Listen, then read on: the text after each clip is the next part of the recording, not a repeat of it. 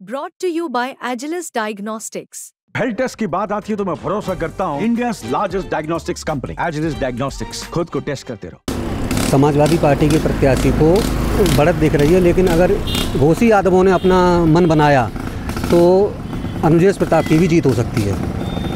की भी हो सकती हो है। सकती है। जिस तरीके से अभी रणनीति देखने को मिल रही है। रोड शो आज हो रहा है। दोनों ही आज प्रचार थमेगा तो दोनों ही प्रत्याशियों जो हैं उनके गठन दल हैं वो पूरी ताकत झोंकते हुए नज़र आ रहे हैं। फ़िलहाल दोनों का ही बात की जाए तो समाजवादी पार्टी का अभी पल्ला भारी है। यूपी में हो रहे उपचुनाव का आखिरी जो क्षण है वो आ चुका है। आज शाम पाँच बजे के बाद चुनाव प्रचार बिल्कुल थम जाएगा।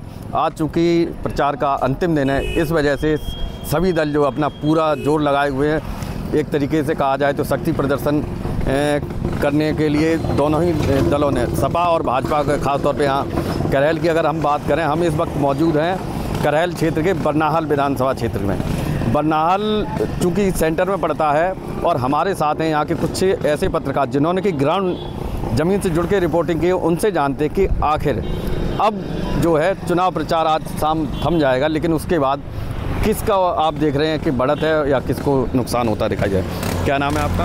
विमल चतुर्वेदी। विमल जी क्या लग रहा है आपको?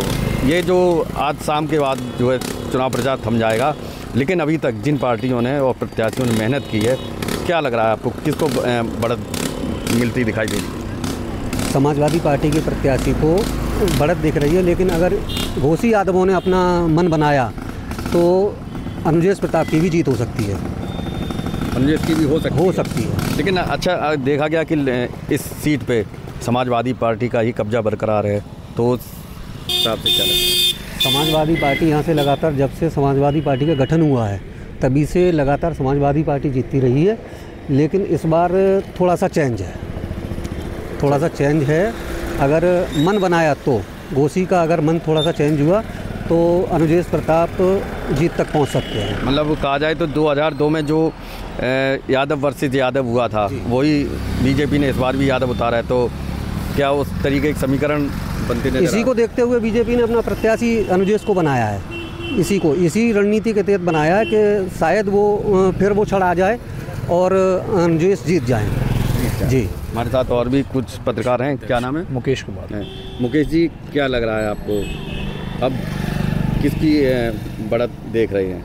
दोनों ही पार्टियों की जो जनसभाएँ हुई, नुक्कड़ सभाएँ हुई और डोर टू डोर कैंपेनिंग हुई है, जिससे तो ये लग रहा है कि समाजवादी पार्टी यहाँ हालाँकि 24 सालों से लगातार उससे अधिक साइकिल दौड़ रही है, मगर इस बार जो है वो भारतीय जनता पार्टी ने बड़ा सोच समझ के प्रत्याशी जो लेकर आए हैं वो अनुजेश प्रताप यादव हैं।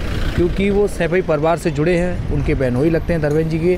तो कहीं ना कहीं रिश्तेदारी और जो सैफई परिवार से जो टकराव की स्थिति है, वो भारतीय जनता पार्टी ने बहुत अच्छा प्रत्याशी लेकर आई है। फ़िलहाल जो हाँ समाजवादी पार्टी की बात की जाए तो वहाँ इनका जो ग्राउंड पर है, वो बहुत मज़बूत है। और इससे पहले जो समाजवादी पार्टी के राष्ट्रीय अध्यक्ष अखिलेश यादव ने साठ हज़ार प्लस से जीत दर्ज कराई थी। मगर इस बार जो प्रत्याशी दोनों मैदान में आ गए जिस तरीके से अभी रणनीति देखने को मिल रही है। रोड शो आज हो रहा है, दोनों ही आज प्रचार थमेगा तो दोनों ही प्रत्याशियों जो हैं उनके गठन दल है, वो पूरी ताकत झोंकते हुए नज़र आ रहे हैं। फ़िलहाल दोनों का ही बात की जाए तो समाजवादी पार्टी का भी पल्ला भारी है। भारी है। अच्छा इस रोड शो में बता रहे हैं, कोई भी तेज प्रताप के अलावा, सैफी परिवार का और कोई सदस्य नहीं दिखाई पड़ रहा है।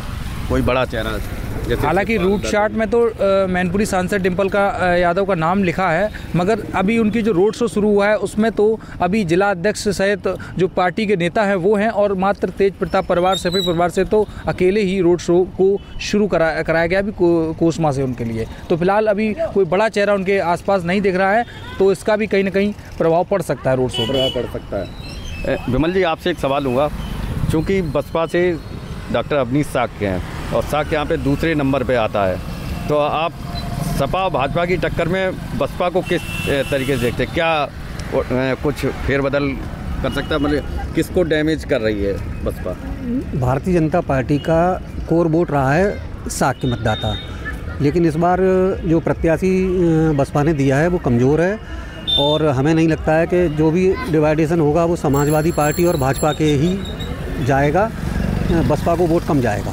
कम जाएगा। कम जाएगा। क्योंकि बसपा का ना प्रचार दिखाई पड़ा उस तरीके से ना कोई बड़ा नेता आया कोई रैली नहीं कोई अकेले प्रत्याशी ने प्रचार किया है कोई भी प्रदेश स्तर का नेता भी उनके साथ कल उनका रोड शो था कस्बे में तो यहाँ कोई उनका बड़ा नेता नहीं दिखा केवल सिंगल खुद ही रोड शो में थे बाकी का 20-25 गाड़ियों के साथ उनका रोड शो निकला था कोई मजबूती नहीं दिख रही है। कोई मजबूती नहीं दिख मजबूती नहीं है। एक और भी कुछ लोग हैं हमारे साथ क्या नाम है आपका? जीत कुमार।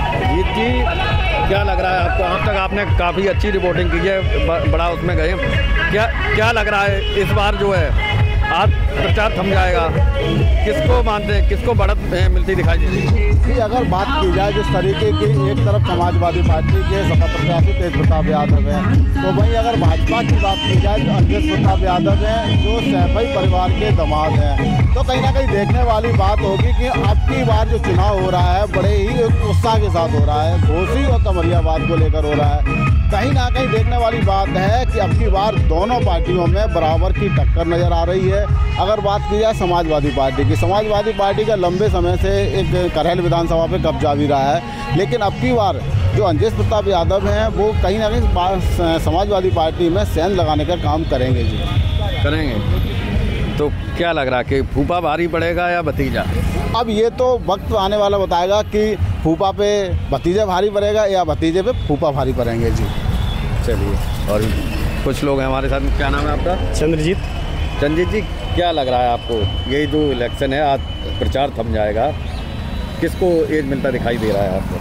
देख लीजिए आज चुनाव प्रचार खत्म हो रहा है और ये भाजपा ने जो प्रत्याशी जो उतारा है जो उनके परिवार का ही और धर्मेंद्र के रिश्तेदार हैं जो उनको उतारा है तो कहीं ना कहीं जो यादव जो फूट या जो सपा में वोट जाता था तो इस बार वो चीज़ नहीं दिख रही है। जो यादव वर्ग है वो भी थोड़ा सा रंजस की तरफ़ जा रहा है।